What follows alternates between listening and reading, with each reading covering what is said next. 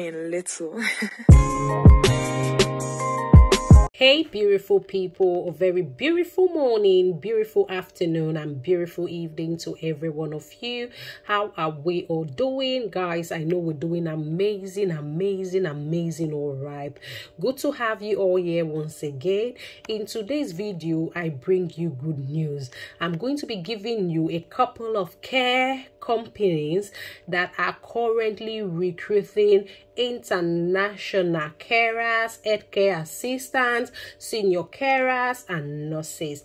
Guys, you don't want to miss any of this. So go ahead and apply for this job. As you can see on the screen, I am not keeping the link in the description box.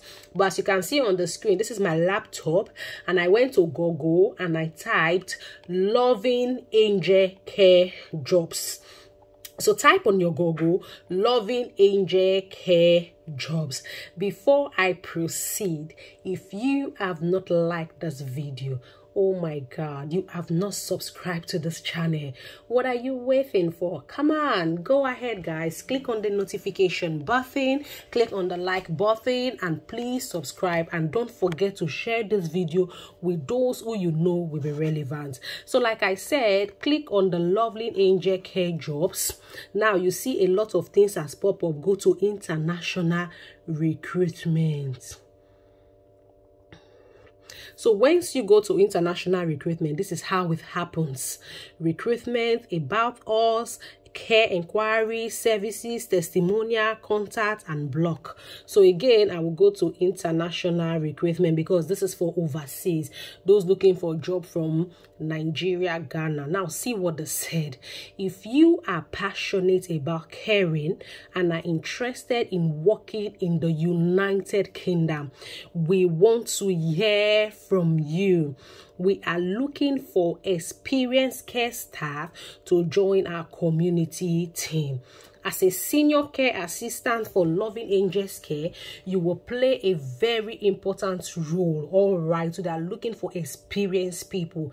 If you have ever cared for your children, you have cared for your age parents, grandparents, I think you can go ahead and do this job. This is what the role entails. Number one, assistance with all aspects of care, showering patients, bathing them, dressing them, taking them to the toilet. If they are incontinent, you provide them with pad, you change their pad, you assist them in eating. You can even go to the supermarket to shop for them, sweep their house, wash their clothes, relate with them, talk to them. All right so these are all it entails now what are the requirements? Oh my god two years experience in health and social care. And if you don't have two years experience in health and social care doing your interview endeavor to tell them how passionate you are how you care for your age parents how you care for your children how you love caring for people meeting their needs feeding them clothing them. You know what i mean? All right. So now you must also have a relevant health and social care qualifications from accredited training provider. This you should have. You just have to go online and do any of those health courses. Sorry and do any of those health courses permit me. And the third thing is you have to have an international driving license. Guys if you don't know how to drive, nobody will take you for this job. Trust me, you must have an international driving license.